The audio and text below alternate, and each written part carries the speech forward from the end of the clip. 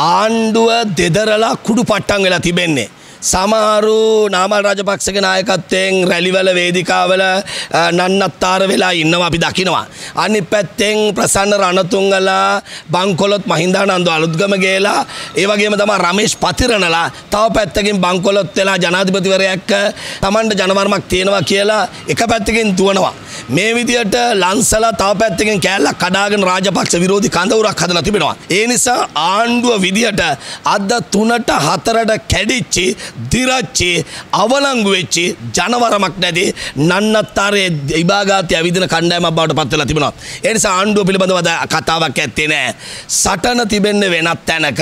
ඒ නිසා අපි විශ්වාස කරනවා මේ රටේ සුවහසක් ජනයාගේ බලාපොරොත්තුව රට සංවර්ධන රටක් විදිහට ගෙනීම සඳහා සමග ජන සන්ධානය ප්‍රමුඛ ප්‍රබල විපක්ෂ ජනබලවේගයට රටේ මහ ජනතාව ඉදිරියේදී අනිවාර්යයෙන්ම ජනවරම දෙනවා කියලා අපි විශ්වාසයෙන් කියනවා.